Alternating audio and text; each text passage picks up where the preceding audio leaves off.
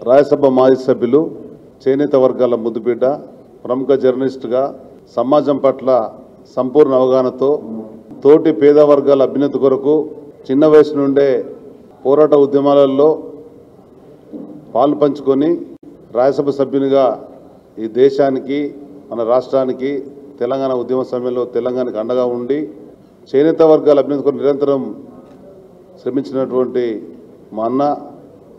Shri doctor Anand Bhaskar గారు ఈరోజు పెద్దలు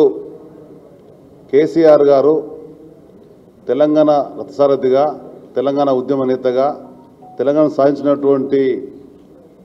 మహానాయకునిగా ముఖ్యమంత్రిగా తెలంగాణ రాష్ట్ర అభివృద్ధి కొరకు నిరంతరం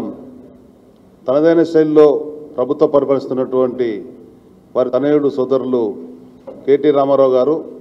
భావితరాల బంగారు భవిష్యత్తుకై నిరంతరం శ్రమిస్తున్నటువంటి ప్రభుత్వంలో భాగస్వామ్యం కావాలని అధికార పక్ష పరంగా పేద వర్గాలకు మరింత చేరువ కావాలని తనదైన ఆలోచనతో ముందుకొచ్చినటువంటి శ్రీ రప్పడంద భాస్కర్ గారిని మనస్ఫూర్తిగా టీఆర్ఎస్ పార్టీలోకి ఆహ్వానిస్తూ పెద్దలు కేసీఆర్ గారు మీరు నడవండి. టీఆర్ఎస్ పార్టీని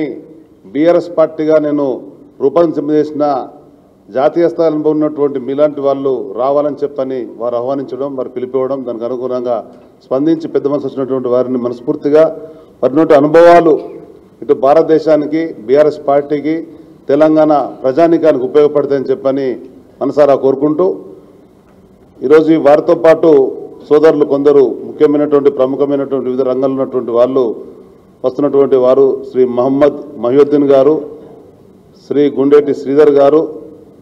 అఖిల భారత పద్మశాలి విజయన సంఘం జాతీయ అధ్యక్షులు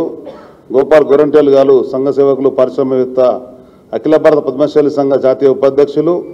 పిన్ను నాగరాజు గారు అడ్వకేట్ బీజేపీ రాష్ట్ర నాయకులు. అదేవిధంగా శ్రీమతి ఐటిపాముల శ్రవంతి సుభాష్ గారు తీగల లక్ష్మణ్ గౌడ్ గారు వీరగోని మనోజ్ కుమార్ గారు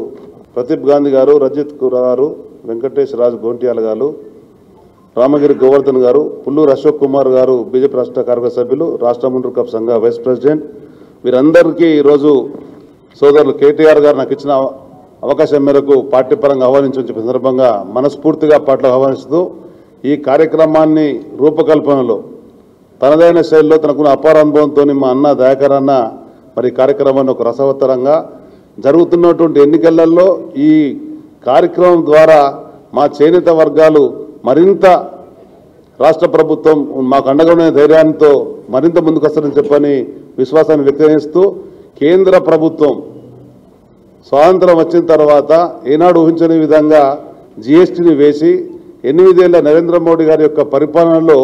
ఎనిమిది పథకాలు రద్దు చేసినటువంటి కేంద్ర ప్రభుత్వానికి తగిన గుణపాఠం మా రాష్ట్ర ఐటీ పురపాలక శాఖ మంత్రులు ప్రధానంగా మా చేనేత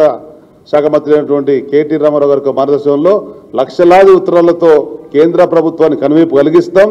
రాష్ట్రంలో ఉన్నటువంటి చిన్నత వర్గాలకు న్యాయం చేసేంత వరకు నిరంతరం పోరాటోద్యమంలో ముందుకు నడుస్తామని చెప్పి తెలుసుకుంటూ ధన్యవాదాలు. జై హింద్. జై చేనేత